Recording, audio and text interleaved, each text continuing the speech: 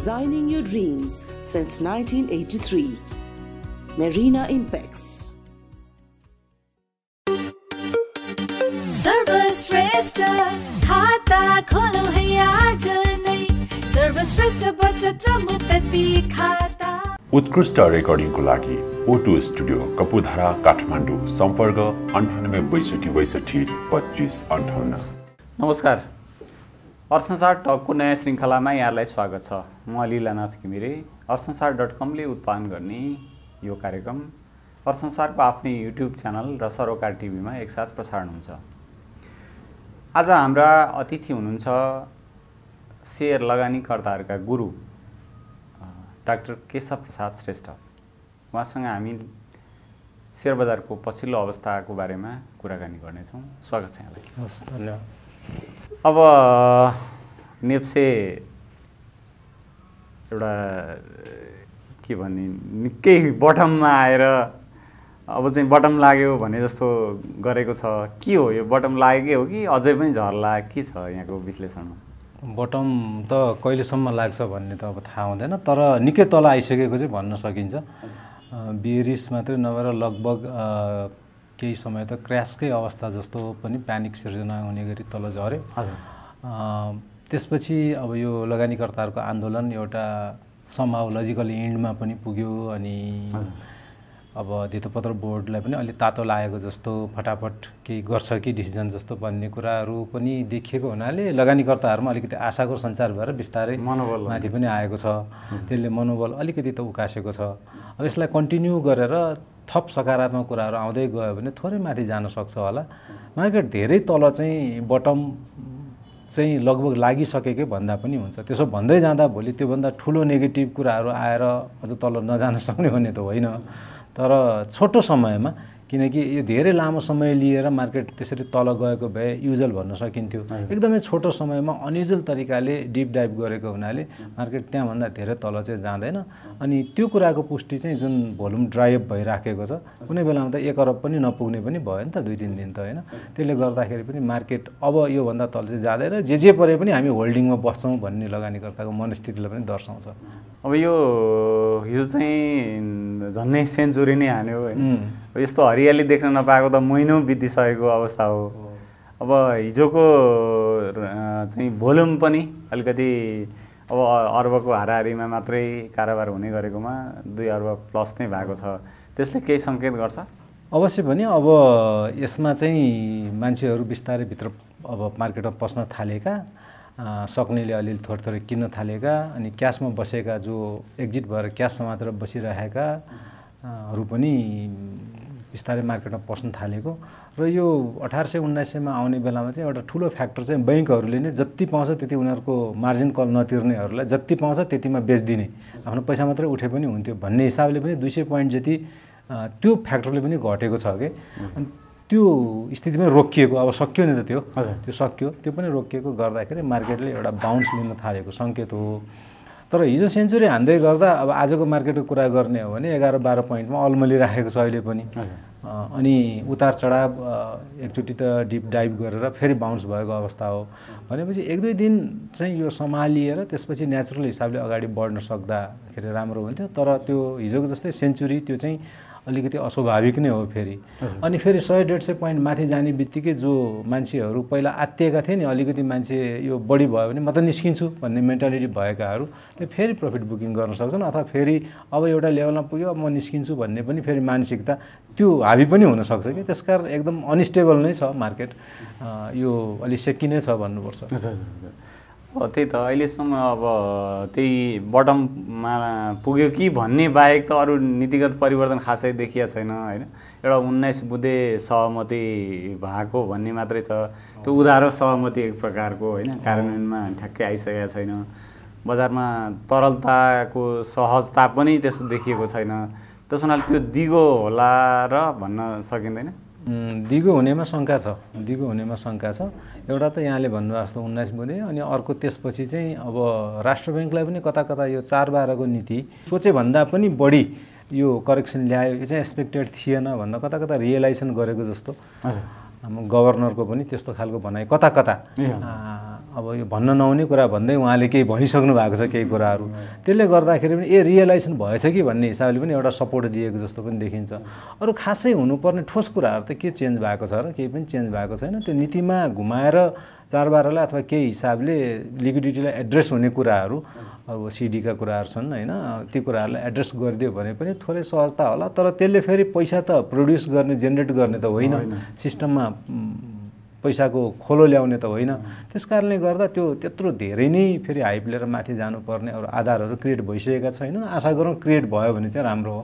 हजुर।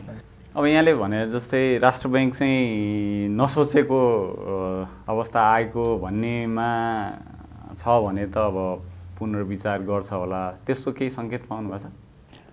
अब गभर्नर को बोलीबाट गभर्नर साहबको बोलीबाट चाहिँ त्यो कुराको अलिअलि रियलाइजेसन भएको मैले चाहिँ पाएको छु।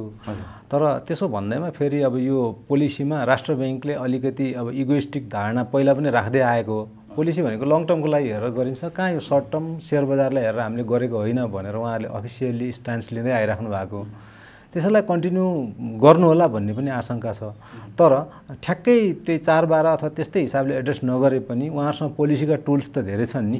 यो मार्केटलाई घुमाएर कुनै हिसाबले सपोर्ट गर्ने हिसाबले अथवा लगानीकर्ता फ्रेन्डली हिसाबले ट्विस्ट ल्याउनु भयो भने त फेरि बजारले बुझ्छ त्यो कुरा लगानीकर्ताले बुझ्छन्। अलिअलि रियलाइजेसन भएको चाहिँ फिल मैले उहाँको टोनमा त्यो शब्दहरूबाट मैले चाहिँ फिल गरेको छु। अब इनकेस यो पुनर्विचार भएन भने त अब यही असार मसान्त हो फेरि डेडलाइन त्यो पछाडि त्यसले कतिको असर गर्ला? असार मसान्तमा अब केही न केही प्रेसर त आउँछ नै। खास गरी अलिकति ठुला लगानीकर्ताहरूलाई धेरै नै प्रेसर आइरहेका कुराहरू पनि आइरहेका छन्। अनि अब मार्जिन कल तिर्न नसक्नेहरूलाई सेयरै बेचिदिएको कुराहरू पनि थाहा भइ नै हाल्यो। त्यसले गर्दा केही सक त सिद्धियो होला। त्यही पनि असार मसान्तमा ब्याजहरू तिर्नुपर्ने कुरा त फेरि बाँकी नै छन्। औषध लगानीकर्ताको कुराहरू त बाँकी नै होला त्यसले गर्दाखेरि यो साइड लाइनसम्ममा मात्रै गइदियो भने पनि राम्रो शुभ सङ्केत भन्नुपर्छ। त्यसपछि चाहिँ साउन्डबाट चाहिँ बिस्तारै खास गरी भदौबाट मैले चाहिँ एक्सपेक्ट गरेका। किनकि अब साउन्डबाट त अब डिभेन्चरका फिक्स्ड इन्ट्रेस्टहरू आउन थाल्छन्। म्युचुअल फन्डले जब अब यसपालि न्याबहरू घटेका भए तापनि बुल पनि देख्यो बेरिस पनि देख्यो एकै वर्षको साइकलमा होइन?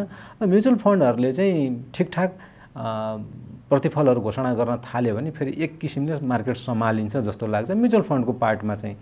अब सेयरहरूको बारेमा कुरा गर्नुपर्दा त एटलिस्ट पनि चार पाँच महिना कुर्नै पर्छ होइन?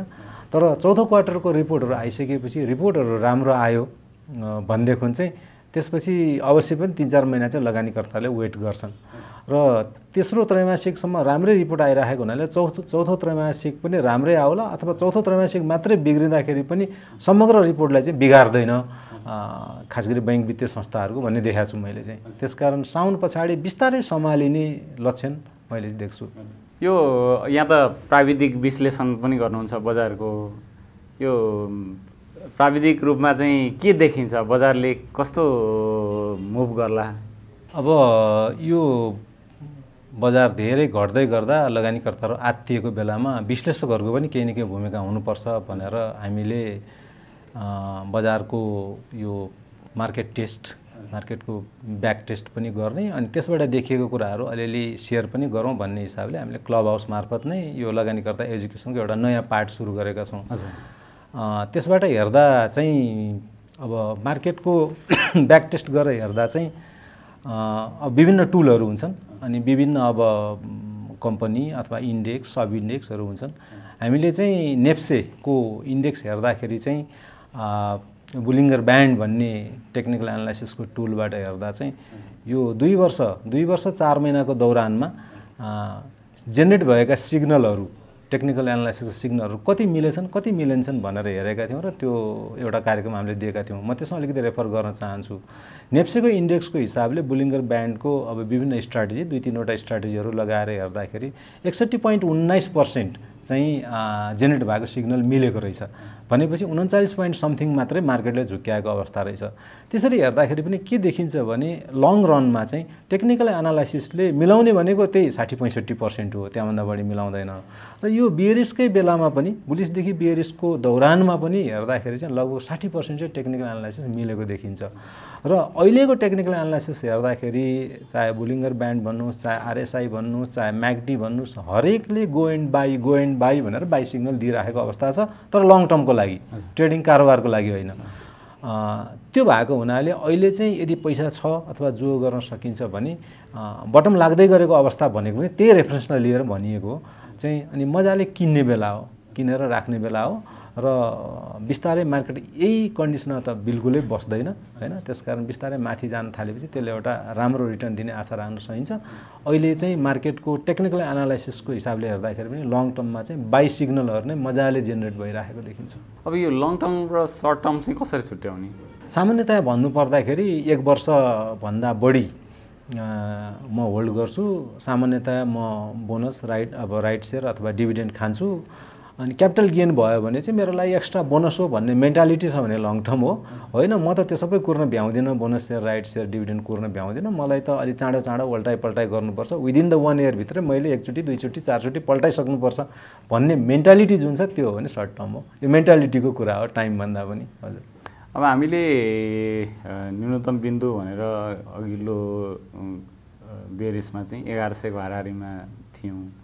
अब अहिले हेर्दाखेरि त त्यो हाम्रो गणना विधि होइन मार्केट क्यापिटलाइजेसन विभिन्न कम्पनीहरू थपिएको अवस्था त्यसले गर्दाखेरि अठार सय हाराहारी भन्दा पनि त्यो चाहिँ त्यो एघार सयकै बिन्दुभन्दा तल हो कि भन्ने जस्तो पनि भान हुन्छ। के लाग्छ हो त्यो त्यस्तो हो किनभने यो दौरानमा एघार सयदेखि बत्तिस सय पुग्दाको दौरानमा त धेरै कम्पनीहरू पनि थपिएका छन् धेरै आइपिओहरू पनि आएका छन् सय रुपियाँको आइपिओ पाँच हजारसम्म पनि पुगेका छन्। त्यो सबैलाई क्यालकुलेसन गरेर हेर्ने हो भने त यो अठार सय होइन एघार सयको हाराहारी वा त्योभन्दा तल तल हुन्छ यदि एडजस्टेड विधिबाट हामीले हेर्ने हो भने। त्यसकारण पनि अहिले एनालिस्टहरूले चाहिँ यो एघार सयकै लेभलमा आइसकेको हुनाले बटम लगाइसकेको हो भनेर अनुमान गरेको कारण पनि त्यही नै हो। एडजस्टेड विधिबाट हेर्ने हो भने त मार्केट कहाँ अठार सयमा छ र धेरै तल छ। त्यही त मैले हेर्दा पनि त्यो अठार सयको बिन्दुमा हेर्दाखेरि अधिकांश वाणिज्य ब्याङ्कको सेयर चाहिँ सात सयभन्दा बढी नै थियो। अब जस्तो एभरेस्ट ब्याङ्क जस्तोको त तिन हजारको हारीमा पनि पुगेको अवस्था हो। तर अहिले हेर्दाखेरि त अधिकांश वाणिज्य ब्याङ्कको सेयर चाहिँ पाँच सयभन्दा मुनि नै देखिएछ। त्यसले गर्दाखेरि चाहिँ अब अहिले चाहिँ अब अब चाहिँ बटम लाग्यो। अब लगानी गर्न उपयुक्त छ भन्ने हो। अब त्यसलाई क्यालकुलेटिभ हिसाबले पनि हेर्न सकिन्छ।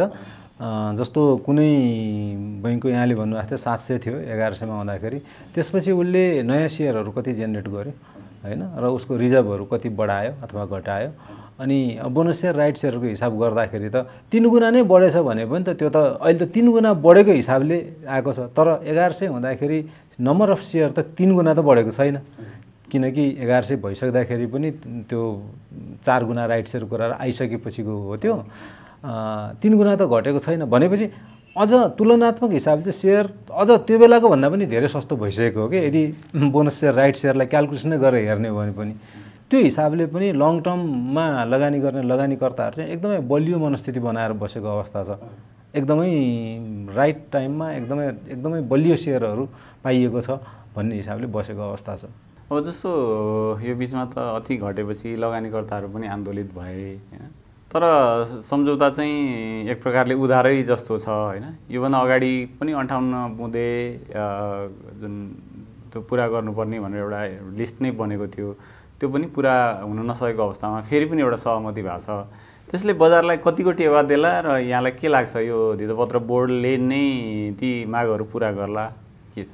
अब एउटा कुरा त यो आन्दोलन भइसकेपछि यसको सकारात्मक पाटो भनेको चाहिँ लगानीकर्ताहरू सडकमा पनि आउन सक्छन् लगानीकर्ताहरूले एउटा हन्ड हङ्गर स्ट्राइक जस्तो कुरालाई पनि गर्न सक्छन् सपोर्ट गर्न सक्छन् अथवा लिड गर्न सक्छन् भनेर भन्ने आयो। त्यो चाहिँ राज्यका नियामक निकायहरूले सायद योभन्दा अगाडि फेस गरेको अवस्था थिएन होला होइन?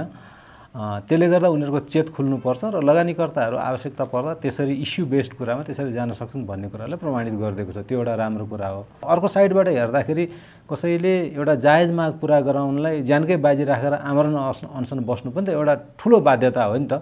त्यो त्यो पार्टबाट फेरि दुःखद कुरा हो। र राम्रो कुरा चाहिँ अब दसौँ दिन भइसकेको थियो उहाँको थप स्वास्थ्यको क्षति बिहोर्नु परेन होइन? अब त्यसरी बस्दा त जे पनि हुनसक्छ नि त। त्यो अवस्था टर्यो त्यो एउटा सुखद कुरा हो। तर राम्रो चाहिँ के हुन्थ्यो भने जति गर्न सकिन्थ्यो फटाफटै गरेर अथवा चाहिँ दसैँ दिनको दौरानमा पनि कतिपय कुरा गर्न सकिने कुरा गरेर गरेको भए चाहिँ साँच्चीकै सिरियस छ कि भन्ने बुझिन्थ्यो। हुन त अहिले धितोपत्र बोर्डको मोड हेर्दा यसो तातेको जस्तो चाहिँ देखिन्छ। तर सम्झौता त फेरि पनि फ्याक्ट चाहिँ त उदाहरण नै हो। उदाहरण नै हो। उधारै भए पनि त्यो उधारो चाँडै उठोस् भन्ने एउटा कामना गर्न सकिन्छ होइन?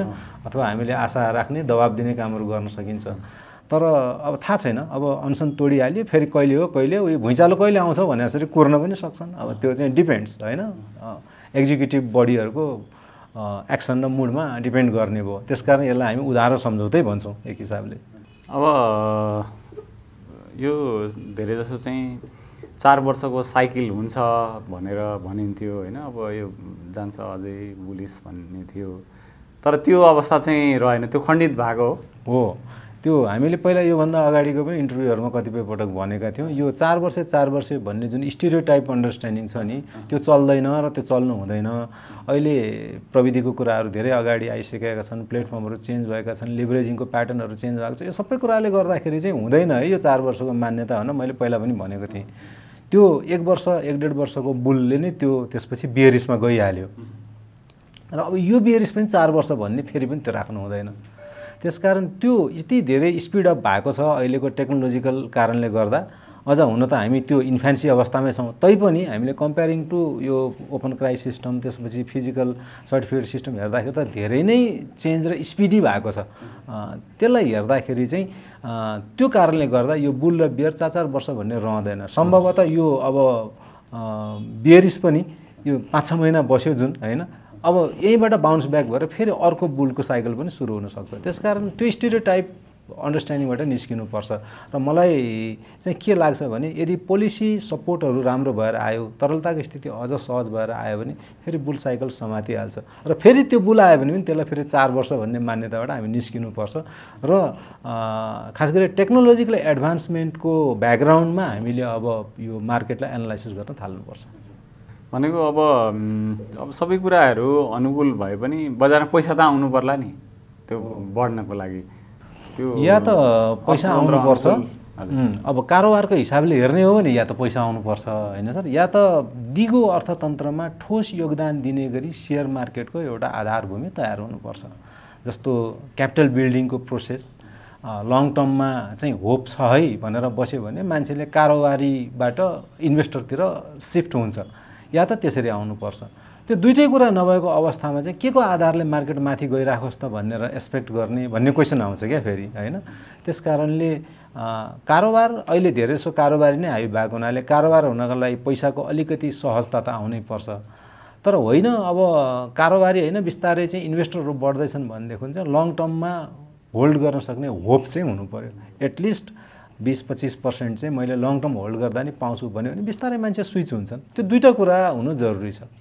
अब अलिकति यहाँसँग सम्बन्धित कुराहरूमा जाउँ। यहाँले एउटा कम्पनी स्थापना गरेर यहाँहरू पनि सेयरमा कारोबार गरिरहनु भएको छ क्यारे? यहाँहरूले चाहिँ के लगानी गर्न सुरु गर्नुभयो? यदि अब यहाँले लक्ष्य होल्डिङ्स लिमिटेडको कुरा गर्नुभएको भने त्यो चाहिँ सेयरमा कारोबार गर्ने कम्पनी होइन। त्यो चाहिँ सब्सिडारी कम्पनीहरू बनाएर रियल सेक्टरमा काम गर्ने उत्पादनमूलक निर्यातमूलक अथवा आयात प्रतिस्थापन गर्ने उद्यमहरूमा लगानी गर्ने सब्सिडारी कम्पनीहरू बनाउने कम्पनी थियो। त्यसले सेयर बजारमा ठाडै लगानी चाहिँ गर्दैन र गरेको छैन। जस्तो यहाँहरूलाई अब धितोपत्र बोर्डले चाहिँ सेयर कारोबार गरे अनुमति नलिकन भनेर के छानबिनको दायरामा पनि ल्याएको छ क्यारे हो। त्यो चाहिँ के हो? त्यो चाहिँ यस्तो हो। अब उहाँहरूले धितोपत्र ऐनको दफा सत्ताइस उन्तिस र तिस कोट गर्नुभएको छ। हामीलाई त मलाई त अचम्म लाग्छ। त्यो उहाँहरूले कसरी त्यसलाई विश्लेषण गर्नुभयो? अब त्यो उहाँको अधिकार क्षेत्रभित्रै पर्दैन क्या त्यो कुरा नि। धितोपत्रको सार्वजनिक निष्कासन भइसकेपछि अथवा हामीले प्रमोटर सेयर पनि लिस्टिङ गर्न गएपछि मात्रै उहाँहरूको अधिकार क्षेत्र सुरु हुने हो। उहाँहरूले अधिकार क्षेत्रविहीन कार्य गर्नुभएको छ। त्यसको लागि हामी कानुनी उपचारमा पनि छौँ। अब उहाँहरूले चाहिँ खाता रोका गरिदिनु भयो। एउटा सुनवाईको मौका पनि नदिइकन हामीसँग केही पनि कुरै नसोधिकन सिधै राष्ट्र ब्याङ्कलाई लेखेर खाता रोका गरिदिनु भयो। हामीले औपचारिक हिसाबले उहाँहरूसँग सोध्न गयौँ। उहाँहरूले चार पाँच दिनमा गरिदिन्छु भन्नुभयो तर त्यो सङ्केत नदिएपछि अब यो चाहिँ अलिकति दादागिरी दादागिरी हो। उहाँहरूले एक त क्षेत्राधिकारविहीन कार्य गर्ने। सिधा कुरा छ क्या सर जस्तो ने नेप्से र धितोपत्र बोर्डले नियमन गर्ने कम् पब्लिक कम्पनीहरू नेपालमा चार साढे चार सय हाराहारी होलान्। तर नेपालमा पब्लिक लिमिटेड कम्पनीहरू त हजारौँको सङ्ख्यामा छन्। ती सबैलाई धितोपत्र बोर्डले नियमन गर्छ त प्रमोटर सेयर इस्यु गर्ने दौरानमा। यदि त्यो हामीलाई उहाँहरूले भन्नुभएको हो भने त उहाँहरूले सबैलाई हजारौँ पब्लिक कम्पनीलाई नियमन गरेको हुनुपर्ने थियो नि। त्यो हिसाबले पनि प्रष्ट के छ भने त्यो उहाँहरूको अधिकार क्षेत्रभित्र छैन। उहाँहरूले अलिकति बल्मी चाहिँ गर्नुभएको हो। किन बल्मी चाहिँ गर्नुभयो त्यो उहाँहरूले जान्ने कुरा भयो हामीले भन्न सक्ने कुरा भएन। तर त्यो चाहिँ अब अदालतमा हामीले कानुनी उपचारको लागि गएको छौँ। सर्वोच्च अदालतमा मुद्दा अब विचाराधीन छ। हामीलाई आशा छ सम्मान्य अदालतले हामीलाई न्याय दिन्छ। अब यो यस्तै प्रकृतिको अर्को एउटा कम्पनीलाई पनि त्यसै गरी सिआइबीमा सिआइबीलाई नै अनुसन्धान गर्न लेखी पठाएको भनेर आइरहेछ। यो धितोपत्र बोर्डले किन चाहिँ त्यो गरिराखेको छ यस्तो कम्पनीहरूलाई चाहिँ? अब त्यही बल्मी चाहिँ भन्छु म त। जबसम्म दुईवटा हिसाबले या त सेयरको सार्वजनिक निष्कासन गर्नको लागि धितोपत्र बोर्ड गइँदैन र त्यहाँ दर्ता गरिँदैन। अथवा प्रमोटर सेयर नै पनि म दर्ता गराएर चाहिँ कारोबारको हिसाबले जान्छु अथवा चाहिँ उहाँहरूको अब नियमावली अनुसार परिपत्र विधि अनुसार म फेरि थप इस्यु गर्छु भनेर धितोपत्र बोर्डमा दर्ता नभइकन उहाँहरूको क्षेत्राधिकार नै सुरु हुँदैन। अब अर्को कम्पनीको हकमा त किन गर्नुभयो हामीले बोल्ने कुरा भएन। तर सामान्यतया हेर्दाखेरि चाहिँ अलिकति नपुग्ने कुराहरू बढी गर्यो अथवा चाहिँ अनुचित चाहिँ लाभ दिन्छु भन्ने हिसाबले प्रचार प्रसार गर्यो भन्ने आरोप पनि उहाँहरूलाई छ। हाम्रो केसमा त त्यो पनि होइन। हामीले त बाह्र सय अडचालिसजना हाम्रो सर्कलमा रहेका मान्छेहरूलाई प्रमोटर सेयर दिएको हो। कोरोनाको कारणले गर्दा देशैभरि जान नसकिने अथवा उहाँबाट आउन नसक्ने भएको हुनाले दुई सय छैसठीजनाले दर्ता गरेर दिएको। बाँकीलाई त हामीले सेयर प्रमाणपत्र पनि दिइसक्यौँ अथवा सेयर लगत पनि कायम गरिसक्यौँ। र धितोपत्रको अधिकार क्षेत्रमा जानुभन्दा पहिला त अधिकार क्षेत्र भएको त कम्पनी रजिस्ट्रार कार्यालय हो। र हाम्रो त प्रबन्धपत्र नियमावलीमा पनि त्यो गर्न पाइने भनेर प्रष्ट लेखेर दिएको छ भने उहाँहरूको अधिकार क्षेत्र कहाँबाट आकर्षित हुन्छ? अथवा उहाँहरूले किन बुझ्नु भएन? हामीलाई बोलाएर बुझेको भए पनि त हुन्थ्यो नि त। सुनवाईको मौका पनि हुन्थ्यो कुरा पनि बुझिन्थ्यो। होइन? उहाँहरूलाई हामी क्लियर सुनवाईको मौकै दिएन मौकै दिएन। हामीले त म त भारतमा थिएँ त्यतिखेर अचानक खबर आयो के भएछ भन्दाखेरि बैङ्कबाट थाहा पायौँ हामीले। तपाईँलाई यसरी पत्र पठाएर रोक्का गरेको छ भनेर। त्यसपछि बैङ्कले चिठी दिएपछि मात्रै त्यो कुराहरू थाहा भयो। हामीलाई त त्यसपछि हामी गयौँ उहाँहरूलाई भेट्नलाई। के भएको भनिदिनुहोस् न त। भनेपछि हामी चार पाँच दिन टुङ्ग्याउनुहोस् अनुसन्धानमा सहयोग गर्नुहोस् भन्नुभयो। न उहाँहरू अनुसन्धानको लागि कहीँबाट आउनुभयो न अहिलेसम्म हाम्रो अफिसमा भिजिट गर्नु भएको छ। उहाँहरू आउँदा पनि आउनु भएन र तिन हप्ता बितिसकेपछि अब यसरी हुँदैन। यसको लागि हामीले चाहिँ न्यायिक उपचार खोज्नुपर्छ भनेर हामी गएका हौँ। यो त बल्मी चाहिँ भयो नि त। हामीलाई सुनवाईको मौका पनि नदिने के हो भनेर पनि नबुझ्ने हाम्रो प्रबन्ध पत्रमा के छ भने पनि नबुझ्ने धितोपत्रको ऐनले दिएको क्षेत्राधिकार के छ भनेर पनि नहेर्ने यो त यसरी गइराखेको छ। यो त एक हिसाबले दुष्कृति पनि हो र उहाँहरूमा हामीको विरुद्धमा हामी दुष्कृतिमा पनि जान सक्छौँ। अब यहाँहरूको कम्पनीले चाहिँ कसरी काम गरिरहेछ अहिले? अहिले त कम्पनीले कामै गरेको छैन। खाता रोका छ। इभन साना साना अफिसियल कुराहरूमा पनि हामीले खर्च गर्न सकेका छैनौँ। र हामी ढुक्क चाहिँ के छौँ भने हामीले एक एक पैसाको हिसाब गरेर बैङ्कमा राखिदिएका छौँ। हाम्रो लगानीकर्ताहरू एकदम काम एन्ड कम्पोज हुनुहुन्छ उहाँहरूलाई सबै कुरा थाहा छ। हामीले त कामै गरेका छैनौँ अहिले। अब अदालतकोबाट हामी न्यायिक उपचारको क्रममा भएकोले अदालतले यसको छिनोफानो गरिहाल्छ नि भनेर बसिराखेका छौँ। उहाँहरूले त हाम्रो हामीले पाँचवटा कम्पनीलाई रियल सेक्टरका कम्पनीलाई लगानी गर्न ठिक्क पारेको रकम रोकिदिनु भयो। त्यसबाट त ती कम्पनीहरूले हामीलाई चाहिँ कानुनी उपचार खोज्न सक्ने हामीलाई पो कानुनी जोखिम सिर्जना भएको छ आर्थिक हामीलाई क्षति भएको छ। पहिला यो कुरा सर्वोच्च अदालतले केही कुराहरू बोलोस् त्यसपछि बाँकी कुराहरूमा हामी फेरि उहाँहरूलाई त्यो जवाफ दिने कठघरामा चाहिँ हामी ल्याउँछौँ। हाम्रो क्षतिपूर्ति भएको छ तेह्र सयजना लगानीकर्ताको सम्पत्ति त्यसै रोक्न पाइन्छ। के को आधारले रोक्न पाइन्छ? अहिले अदालतमा एउटा मुद्दा विचार विचाराधीन भएको हुनाले हामी त्यसमा केही गरिराखेका छैनौँ। त्यसपछि उहाँहरूले हामीलाई क्षतिपूर्ति दिनुपर्छ। जनताको सम्पत्ति त्यसै रोक्न पाइन्छ के को आधारले पहिला पाइँदैन भनेर अदालतले बोलोस् अनि त्यसपछिको कुरा त्यसपछि हुन्छ हजुर